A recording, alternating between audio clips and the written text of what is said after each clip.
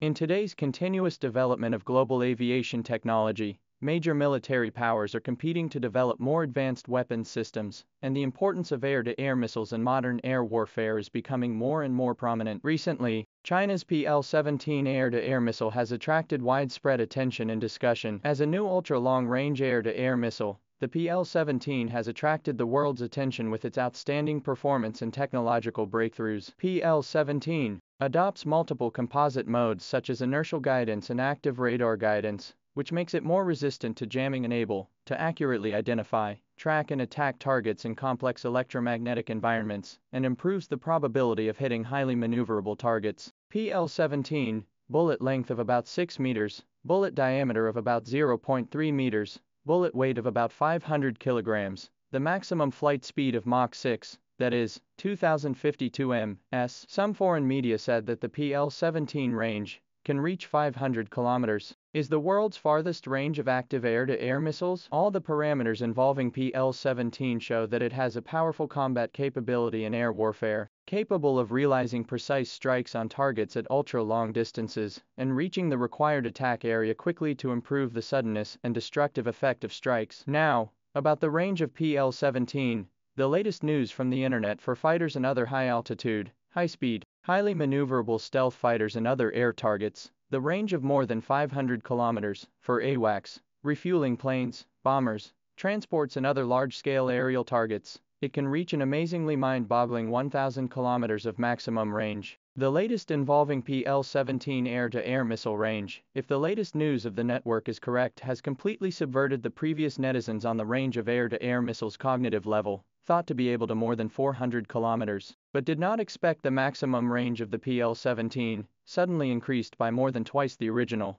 which is also too incredible. In other words, the enemy's early warning aircraft, refueling planes or bombers, even if they are hiding in the long distance, safe zone, it is difficult to escape the pursuit of this missile. These key support aircraft once destroyed, the support of the fighter group will fall into passive, which is a fatal blow to the enemy forces. So how exactly does the PL-17 achieve this feat? According to test data, a target-target aircraft flew at 1.5 times the speed of sound, and also performed extreme maneuvers for more than 40 seconds, but the result was still unable to escape the missile attack. This directly demonstrates that the PL-17 has excellent dynamic tracking and target locking capabilities, and can effectively respond to highly maneuverable targets. One might question whether, at such a long distance, the warplanes launching the missiles would have difficulty in guiding them effectively because of the distance. This question was obviously taken into consideration. However, the innovative thinking of the Chinese side has once again overturned the norm. To overcome this challenge,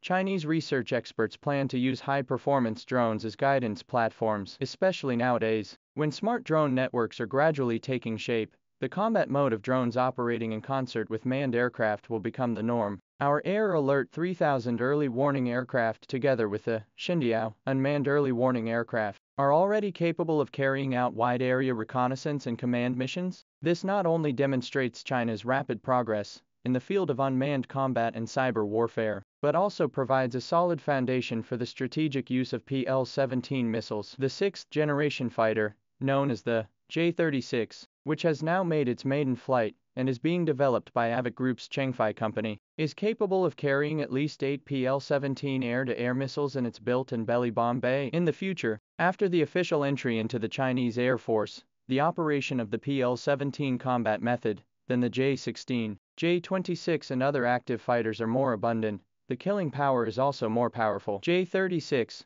carrying PL-17 air-to-air missiles, can shoot down stealth fighters 500 kilometers away, cruising at supersonic speeds at Mach 1.5 when performing air-to-air combat missions. If the J-36 is flying at 20,000 meters with a cruising speed of Mach 1.5 and performing penetrating combat missions, it can strike early warning planes, bombers, transport planes, refueling planes, anti-submarine planes, and other large-scale air targets at a distance of 1,000 kilometers air targets. According to the military website of the war zone, the practical exercise on the map found that the J-36 has an amazing combat radius of more than 3,000 kilometers, early warning aircraft, refueling planes, bombers and other large-scale high-value targets, even if they are withdrawn to the middle of the Pacific Ocean, the North or the South, it would be difficult to escape from the fate of the turkey like hunting. After practical exercises, no wonder the Pentagon in the assessment of PL-17 ultra-long-range air-to-air missiles in different modes of operation, said that with the PL-17 ultra-long-range air-to-air missiles into the ranks of the future rules of the air war is about to be completely changed.